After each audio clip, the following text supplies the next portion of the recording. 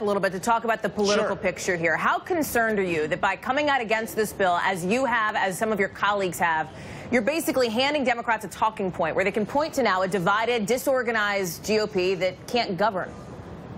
You know, obviously, anytime that you uh, speak on behalf of the American people and that you don't fall in line in a partisan way here in Washington, D.C., there are side effects of that.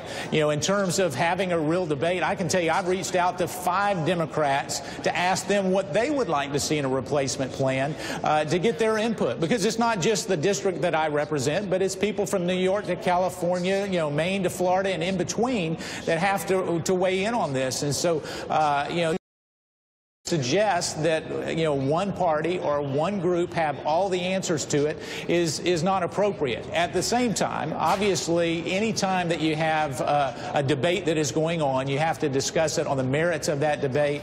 And I can tell you that as we look at this, I'm looking forward to working with the president, uh, those on the other side of the aisle, Secretary Price, and a number of them to to actually come up with something that works.